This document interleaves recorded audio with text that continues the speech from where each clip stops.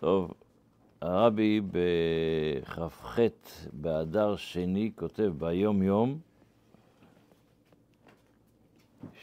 שאם יש ברית מילה, אז בברכת המזון של ברית מילה יש בסוף ברכת המזון קטע שנקרא רחמון. אז הרבי טוען שאומרים את הרחמן של ברכת המזון, של ברכת המזון כי בתקופה קדומה היה בזה מחלוקת, כי האדמו"ר הזקן כן, לא הכניס את זה לסידור, לא, כן הכניס את זה לסידור. אז היה מקובל, היה זה בכל מיני דעות. למה, הקדוש, למה האדמו"ר הזקן לא הכניס את זה לסידור? אבל הרבי כותב שמקובל שאומרים את הרחמן הזה. דבר שני, הרבי כותב ביום יום, באותה שיחה של ברית מילה, שברית מילה כשעושים את הברית, אומרים, כשם שנכנס לברית, כן ייכנס לתורה, לחופה ולמעשים טובים.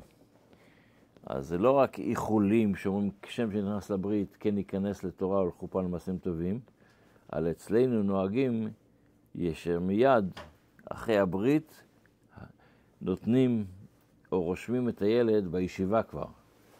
ההורים נותנים דמי הרשמה לישיבה, לישיבה, ורושמים את הילד שיהיה כבר מעכשיו תלמיד בישיבה כבר.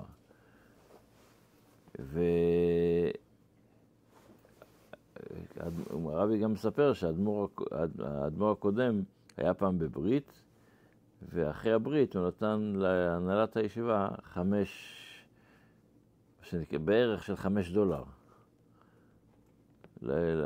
כהרשמה, זה עבור הישיבה, לרשום את הילד לישיבה. כי זה לא שזה, אמרנו, כשם שנכנס לברית כן ייכנס לתורה לא פעמים, אז תכניס אותו ישר לתורה. איך תכניס אותו לתורה?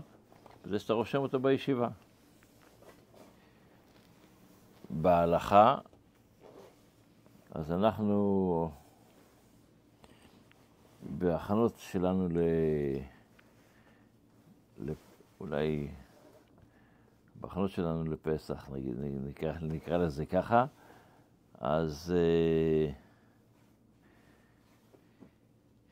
בש... בין שאר ההכנות שקצת נגענו במטבח, קצת נגענו ב... כמובן שבמטבח צריך לעשות, אם אתה, אם אתה לא מוציא את החמץ מהמטבח, אתה, אתה סוגר אותו, תסגור אותו בצורה כזו שלא תוכל בקלות, לג... לג... שיהיה לך גישה אליו, וגם לכתוב על זה שזה חמץ, כדי שיזכיר לנו, כי ההרגל יש לה בעיה. אז כדי למנוע, למנוע מטעויות, אז חשוב לשים סימנים כדי שלא יהיה לנו את הטעויות שיש לנו, שיכולות לקרות לנו, כי אמרנו הרי שבפסח נזהרים אפילו במשהו בפסח. בתפילה, אז אנחנו בברוך שאמר, אז דיברנו, ברוך משלם שכר טוב ליריעיו, אחרי זה יש ברוך חי לעד וקיים לנצח. מה ההבדל בין חי לקיים? חי זה דבר שכל הזמן מתפתח, כל הזמן גודל.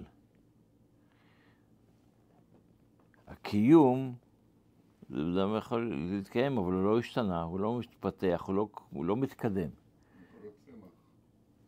אז לכן אומרים לנו, ברוך חי הקדוש ברוך הוא יש בו את שני התכונות האלה. מצד אחד אנחנו יכולים לשלם את היכולת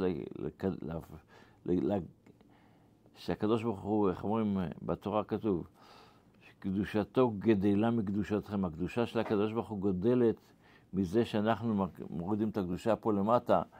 חסידות אומרת שכשאני יורד מוריד את הקדושה פה למטה, אז היא בעצם יוצרת אור חוזר. איך שדיברנו באחד השיעורים, רצו ושוב. אז כשיש אור חוזר ואור קיים, אז האור הוא כפול. כי יש גם את האור הישר שיורד וגם האור שחוזר. וזה החי. הקיים, יש את האור שיורד לעולם הזה, אז יש את שניהם.